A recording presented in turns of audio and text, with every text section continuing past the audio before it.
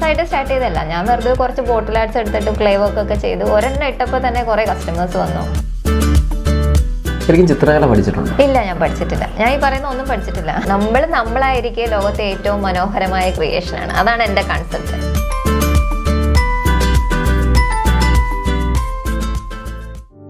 ഇത് തുടങ്ങിയ സമയത്ത് എനിക്ക് അത്യാവശ്യം നന്നായിട്ട് അസുഖത്തിന്റെതായ ലക്ഷണങ്ങളൊക്കെ ഉണ്ടായിരുന്നു അപ്പോൾ ഡോക്ടർ പറഞ്ഞു ഭയങ്കര ഇമ്പ്രൂവ്മെന്റ് ഉണ്ട്. ഇപ്പോൾ വളരെ കുറച്ച് ഭാഗത്ത് മാത്രമാണ് അസുഖം എഫക്റ്റഡ് ആയിട്ടുള്ളത്. അപ്പോൾ ഞാൻ എനിക്ക് ആ സമയത്ത് എന്റെ കണ്ണിങ്ങനെ നിറഞ്ഞായിരുന്നു. ആ സമയത്ത് ആ സ്റ്റേജ് വെച്ചിട്ട്. നമസ്കാരം. ഞാനിപ്പോൾ ഉള്ളത് കൊടുങ്ങല്ലൂർ കരിച്ചാംകുളത്താണ് ഇവിടെ നൂലിഴകൾ കൊണ്ട് അതിമനോഹരമായ ചിത്രങ്ങൾ നെയ്തെടുക്കുന്ന ഒരു പെൺകുട്ടിയുണ്ട്. അവരുടെ വിശേഷങ്ങൾ അറിയുന്നതിന് വേണ്ടി വന്നതാണ്. നമുക്ക് അവിടേക്ക് പോകാം.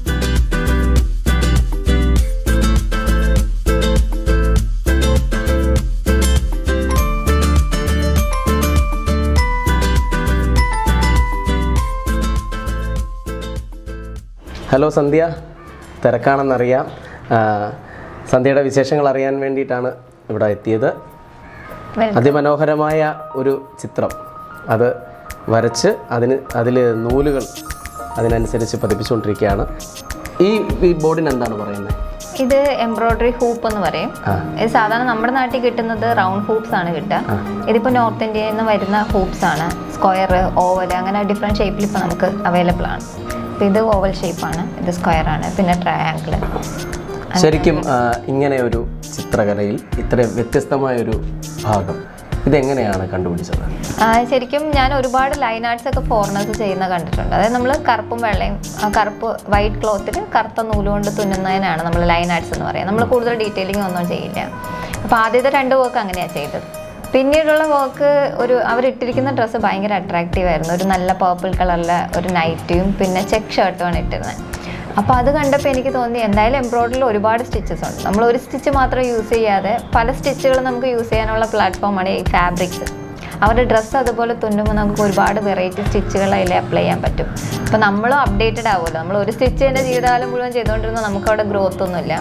അപ്പോൾ പല ഫാബ്രിക്ക് പല ഡിസൈൻ ആയിരിക്കും. അപ്പോൾ നമുക്ക് നമ്മുടെ പല രീതിയിലുള്ള ക്രിയേറ്റിവിറ്റീസ് അതിന്റെ കൂടി കൊണ്ടുവരാൻ പറ്റും. അങ്ങനെയാണ് മൂന്നാമത്തെ വർക്ക് അങ്ങനെ ചെയ്യുന്നത്.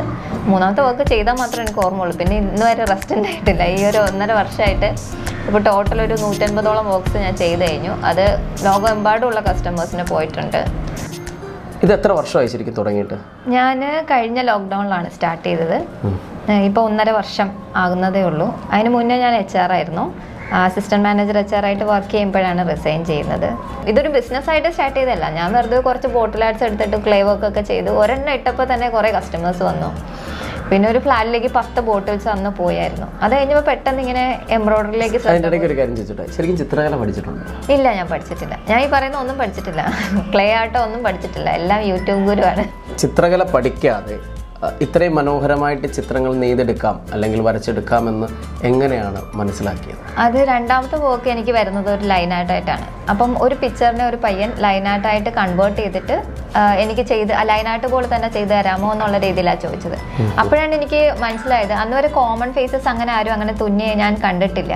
അപ്പം സാധാരണക്കാരെ തുന്നി കൊടുക്കുമ്പോൾ അതൊരു പ്രഷ്യസ് ഗിഫ്റ്റും ആയിരിക്കും. കോമൺ ഫേസസ് എന്ന് പറയുമ്പോൾ നമുക്ക് ഒരുപാട് വർക്ക് കിട്ടുകയും ചെയ്യും എന്നുള്ളൊരു കൺസെപ്റ്റ് വന്നത്. അപ്പോൾ തന്നെ ഞാൻ പ്ലേ സ്റ്റോറിൽ കയറി ആപ്ലിക്കേഷൻസ് മുഴുവൻ ഡൗൺലോഡ് ചെയ്തു. എന്നിട്ട് ലൈൻസ് ലൈനായിട്ടായിട്ട് പിക്ചറിനെ കൺവേർട്ട് ചെയ്ത് ജസ്റ്റ് ഒന്ന് ട്രേസ് ചെയ്തിട്ട് ഞാൻ ചെയ്യാൻ നോക്കി. അപ്പം പക്ക ഞാൻ വിചാരിച്ച പോലത്തെ റിസൾട്ട് എനിക്ക് വരാൻ തുടങ്ങി. പിന്നെ നമ്മൾ അതുപോലെ തന്നെ അതിന്റെ ചായ മാറാതെ നൂലോടിക്കുക എന്ന് പറയുന്നത് ഭയങ്കര റിസ്ക് ആണ്. നമ്മൾ ഒരുപാട് സമയം എടുത്തല്ലേ സമയം എടുക്കണം. ഞാൻ ഫേസ് ഒക്കെ ഒരു ഒരു ദിവസമൊക്കെ എടുത്തിട്ടാണ് ഞാൻ ഫേസ് മാത്രം ഫീച്ചേഴ്സ് ചെയ്യുക. കാരണം എന്ന് വെച്ചാൽ അതാണ് നമ്മുടെ ഇമ്പോർട്ടന്റ് ഏരിയ ഡ്രസ്സൊക്കെ പിന്നെ നമ്മൾക്ക് ലൈൻസ് അങ്ങോട്ടും ഇങ്ങോട്ടൊക്കെ മാറിയാലും നമ്മൾ അറിയില്ലല്ലോ. അപ്പം അങ്ങനെയാണത് ചെയ്തു തുടങ്ങിയത് പിന്നെ ഞാൻ ഇപ്പോൾ ഒരു സ്റ്റാഫിനെ ഹയർ ചെയ്തു വിന്നി എന്ന് പറഞ്ഞിട്ട് ഒരു കുട്ടിയുണ്ട്. അവളാണ് പോർട്രേറ്റ്സ് വരയ്ക്കും.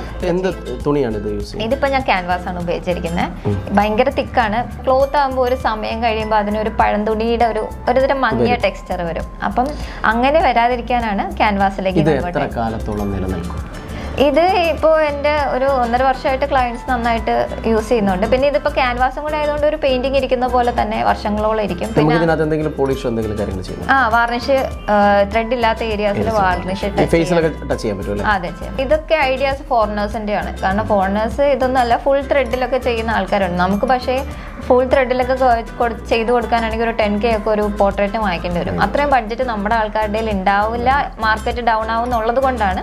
ഈ അവർക്ക് ബഡ്ജറ്റ് ഫ്രണ്ട്ലി ആയിട്ട് ഒരു two thousand five hundred to three thousand five hundred ആ ഒരു റേഞ്ചിൽ ഗിഫ്റ്റുകൾ എന്നുള്ള രീതിയിലാണ് ഞാൻ ഇങ്ങനെ ചെയ്തെടുക്കുന്നത്. ഏറ്റവും മിനിമം ഒരു ഫിഫ്റ്റി കെ വരെയെങ്കിലും ഒരു മാസം ഏറ്റവും മിനിമം സമ്പാദിക്കാൻ പറ്റുന്നുണ്ട്. ഇത് ഹൂപ്പാർട്ട് എന്ന് പറയും. ഇത് പല രീതിയിൽ പറയുന്നുണ്ട്. Portrait embroidery linear portraits hoop arts ഇതിൽ തന്നെ ഇനിയും വെറൈറ്റീസ് ഉണ്ട്. വീട്ടുകാരുടെ പിന്തുണ എങ്ങനെയാണ്? ഹസ്ബൻഡ് ഭയങ്കര സപ്പോർട്ടാണ് പുള്ളി ആദ്യം മുതൽ സപ്പോർട്ടർ ആയതുകൊണ്ടാണല്ലോ നമുക്ക് ഇതിലേക്ക് കൂടുതലും വരാൻ പറ്റുന്നത്. എത്ര വയസ്സുള്ള മോളാണ്? രണ്ടര വയസ്സാണ്. സായ എന്ന പേര്. നിറങ്ങളാണ്. ഒരുപാട് നിറങ്ങൾ ചാലിച്ച് വേണം ഒരു കലാസൃഷ്ടി ഉണ്ടാക്കാൻ. അതെ അതെ. അതിന് ഒരുപാട് കടമ്പകളുണ്ട്. പക്ഷേ അതിന്റെ പിന്നിലെ കഷ്ടപ്പാടുകളെ കുറിച്ചോ അതിന്റെ ഒരു പ്രയാസങ്ങളെ കുറിച്ചോ അതിനെടുക്കുന്ന ഒരു എഫേർട്ടിനെ കുറിച്ച് ആരെങ്കിലും ചിന്തിക്കാറുണ്ടോ? എന്ന് വെച്ചാൽ ചിന്തിക്കാറില്ല. എത്രത്തോളം സന്തോഷമുണ്ട്? ഭയങ്കര സന്തോഷമാണ്. ചിലതൊക്കെ ഭയങ്കര ഇമോഷൻസ് ആണ്. ചിലർ മരിച്ചുപോയ അമ്മയും അച്ഛനൊക്കെ ആയിരിക്കും. വേറൊരാൾ എനിക്ക് മെസ്സേജ് അയച്ചിട്ട് പറഞ്ഞു സന്ധ്യ ഈ ബാക്ക് സൈഡിലെ ഫോട്ടോ എടുത്തിടണം കേട്ടോ. എനിക്ക് ഇത് കാണുമ്പോൾ നൂലാന്ന് വിശ്വസിക്കാൻ പറ്റുന്നില്ല ചില ബോക്സ് എന്ന് പറഞ്ഞു. അതൊക്കെയാണ് എനിക്ക് ഏറ്റവും വലിയ കോംപ്ലിമെന്റ് ഫാഷൻ ഷോകളിൽ റാമ്പുകളിൽ നന്നായിട്ട് തിളങ്ങുന്ന ഒരു കലാകാരി കൂടിയാണ്. എങ്ങനെയാണ് അതിലേക്ക് എത്തപ്പെട്ടത്? അതെന്ന് വെച്ചാൽ ഞാൻ ലോക്ക്ഡൗണിലാണ് ഓവിയം ഫാഷൻ ക്യൂ നടത്തുന്ന മിസ്സിസ് കേരള എന്ന് പറയുന്ന ഒരു പ്രോഗ്രാമിനെ കുറിച്ച് അറിഞ്ഞത്. അപ്പം ഞാൻ ശരിക്കും പോയത് വിൻ ചെയ്യാനോ ക്രൗൺ മേടിക്കാനോ ഒന്നും ആയിരുന്നില്ല. എന്റെ ഒരേ ഒരു എയിം ഉണ്ടായിരുന്നുള്ളൂ. അവിടെ ഈ ബ്യൂട്ടി എന്ന് പറയുമ്പോൾ ഒരു കൺസെപ്റ്റ് ഉണ്ട്. സൗന്ദര്യം ഒരാളുടെ ശരീരഘടന കണ്ടല്ല അളക്കേണ്ടത് എന്നുള്ള മെസ്സേജ് എനിക്ക് ഏറ്റവും നന്നായിട്ട് സ്പ്രെഡ് ചെയ്യാൻ പറ്റിയ പ്ലാറ്റ്ഫോം ബ്യൂട്ടി കോൺടെസ്റ്റുകളാണ് ഇപ്പോൾ അങ്ങനെ ഒരു സ്റ്റേജിൽ ഞാൻ പോയി നിൽക്കുമ്പോൾ എല്ലാവരും ഇങ്ങനെ പറയുന്ന സൗന്ദര്യഘടനയിൽ നിന്ന് വ്യത്യസ്തമായിട്ട് ഒരാളെ കാണുമ്പോൾ അവരിങ്ങനെ എന്നെ ചിലവർ പുച്ഛത്തോടെ നോക്കുമായിരിക്കും ചിലർ അതിശയത്തോടെ നോക്കുമായിരിക്കും അതൊക്കെ ഒന്ന് എക്സ്പീരിയൻസ് ചെയ്യണമെന്നുണ്ടായിരുന്നു ഈവൻ ഞാൻ ബാക്ക് സ്റ്റേജിൽ വാക്കിംഗ് പ്രാക്ടീസ് ചെയ്തുകൊണ്ടിരിക്കുമ്പോൾ അവിടെ ഉള്ളൊരു മേക്കപ്പ് ആർട്ടിസ്റ്റ് എന്നോട് പറഞ്ഞു ഇത് മാറിയേക്ക് കാറ്റ് വരുന്നു. അങ്ങനെ എന്തോ ഒരു കമന്റ് വന്നു. അപ്പോൾ ഞാൻ എനിക്ക് ആ സമയത്ത് എന്റെ കണ്ണിങ്ങനെ നിറഞ്ഞായിരുന്നു. ആ സമയത്ത് ആ സ്റ്റേജ് വെച്ചിട്ട്. എന്ത് ഞാൻ പറയാം? നോക്കിക്കോ ഞാൻ അങ്ങനെ മനസ്സിൽ പറയാം. എനിക്ക് എന്തെങ്കിലും ക്രൗൺ കിട്ടുമ്പോൾ അതിനുള്ള മറുപടി ആയിക്കോളും. ഞാൻ മനസ്സിൽ പറയാണ്. എന്നിട്ട് ഞാൻ സ്റ്റേജിൽ നിന്നിട്ട് ഞാൻ ഇൻട്രോ കൊടുത്തു കഴിഞ്ഞതിന് ശേഷം തന്നെ ഇറങ്ങി വന്നപ്പോൾ തന്നെ ഇവർ ഉൾപ്പെടെ എല്ലാവരും ഉണ്ട് ആ ക്രൗഡിൽ കുറേ പേര് എന്നെ ഒന്ന് അപ്രീസിയേറ്റ് ചെയ്താ ചെയ്യാൻ തുടങ്ങി ഇൻട്രോ തന്നെ നല്ല രസം ഉണ്ടായിരുന്നു എന്ന് പറഞ്ഞിട്ട്. അപ്പോഴും ഞാൻ ഒന്നും പ്രതീക്ഷിക്കുന്നില്ല. കാരണം ഭയങ്കര സുന്ദരികളായ പെൺകുട്ടികൾ ഇങ്ങനെ നിൽക്കുന്നുണ്ട്. പത്ത് പതിമൂന്ന് പതിനാല് കോണ്ടസ്റ്റൻസ് ഉണ്ടായിരുന്നു അവിടെ. അപ്പം റിസൾട്ട് വന്നപ്പോൾ എനിക്ക് സെക്കൻഡ് റൺ ഉറപ്പായിരുന്നു. അതെനിക്ക് ഭയങ്കര അച്ചീവ്മെന്റ് ആയിരുന്നു. എനിക്ക് അച്ചീവ്മെന്റ് എന്ന് പറഞ്ഞാൽ ഞാൻ വിൻ ചെയ്തു എന്നുള്ളതല്ല. ഇതിപ്പോൾ ഞാനിപ്പോൾ ഒരു സോഷ്യൽ മീഡിയ കൊണ്ട് ഇടുമ്പോൾ എത്ര പേര് ഇൻസ്പയർ ആവും? നമുക്ക് നമ്മുടേതായ സൗന്ദര്യമുണ്ട്.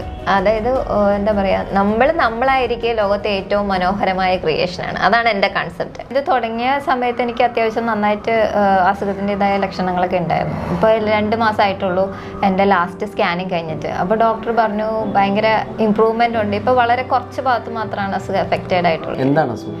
ഇത് അൾസറേറ്റീവ് കൊളൈറ്റിസ് എന്ന് പറയും. നമ്മൾ ലോകത്ത് ഒരുപാട് പേർക്ക് വൺ മില്യൺ ആൾക്കാർക്ക് വരെ ഇത് ഉണ്ടാവുന്നുണ്ട്. ചിലർ ജനറ്റിക്കാന്ന് പറയുന്നുണ്ട്. ചിലർ ലക്ഷണങ്ങൾ ശരിക്കും കണ്ടുപിടിച്ചിട്ടില്ല. കംപ്ലീറ്റ് ആയിട്ട് പൂർണമായിട്ട് മാറാനുള്ള മെഡിസിൻസും ഇല്ല. ചിലർക്ക് ഒരു കാലഘട്ടം കഴിയുമ്പോൾ അപ്രത്യക്ഷമായിട്ട് റിപ്പോർട്ടുണ്ട്. പക്ഷേ പൂർണമായിട്ട് നമുക്ക് അത് ക്യൂർ ചെയ്യാൻ പറ്റില്ല. പിന്നെ ചെയ്യാൻ പറ്റും നമ്മൾ ഭക്ഷണത്തിൽ ചില സാധനങ്ങൾ അവോയ്ഡ് ചെയ്യുക അങ്ങനെയൊക്കെയാണ്. എങ്കിലും ഇത് എന്താ പറയുക ഒരു റെമിഷൻ പീരീഡ് ഉണ്ട്. ഇത് ഒരു ലക്ഷണങ്ങളും ഇല്ലാത്ത കുറച്ച് സമയവും. ഇതിന്റെ ബ്ലീഡിങ് അങ്ങനത്തെ കാര്യങ്ങളുള്ള ഒരു സമയം ഉണ്ടാവും. എനിക്ക് എന്റെ ഓർമ്മയിൽ ഞാനൊരു ഈ ക്രാഫ്റ്റ് ഒക്കെ തുടങ്ങുന്നതിന് മുമ്പ് വരെ ഒരു ആറുമാസം കൂടുമ്പോൾ കൂടുമ്പോൾ ബ്ലീഡിങ് അങ്ങനത്തെ കാര്യങ്ങളൊക്കെ വരുമായിരുന്നു പക്ഷേ ഇപ്പോൾ ഒന്നര വർഷമായിട്ട് എനിക്കറിയില്ല എന്താ മാജിക് ഞാൻ പോസിറ്റീവ് ആയത് തന്നെയായിരിക്കും മാജിക് മനസ്സിനെ എങ്ങനെ ക്രമീകരിക്കുന്നു അതെ അതെ ഇതിന് ടെൻഷൻ ഒന്നും പാടില്ല. നമ്മൾ റിലാക്സ്ഡ് ആയിട്ട് ഇരിക്കാന്ന് പറയും എനിക്ക് തോന്നുന്നത് തുന്നലിനേക്കാൾ നല്ലൊരു മെഡിസിൻ ഇല്ല. അപ്പൊ അതുകൊണ്ടായിരിക്കും എന്ന് ഞാൻ വിചാരിക്കുന്നത് Sandhya Asia book of records വിന്നറാണ്. ഇതേണ്ടേ ഇതല്ലേ? ആ എന്റെ മൊമെന്റ് ആണ്. സർട്ടിഫിക്കറ്റ് ഫ്രെയിമിലാണ് ഹാങ് ചെയ്തേക്കുവാണ്. ഏഷ്യ ബുക്ക് ഓഫ് റെക്കോർഡ്സ് ഈ തുന്നലുമായി ബന്ധപ്പെട്ട് കിട്ടിയതാണ്. India book of records winner കൂടെയാണ് അതിന്റെ അവാർഡാണിത്. അല്ലേ? ഇതെവിടെ വെച്ചായിരുന്നു ഇതിന്റെ ഇത് നമുക്ക് അവർ അയച്ചു തരാ ചെയ്ത. ആരുടെ വെള്ളം വിതാരണ കണ്ടേ തരിത ഗതാര തീരത്തക തകതത്തക തീരത്തക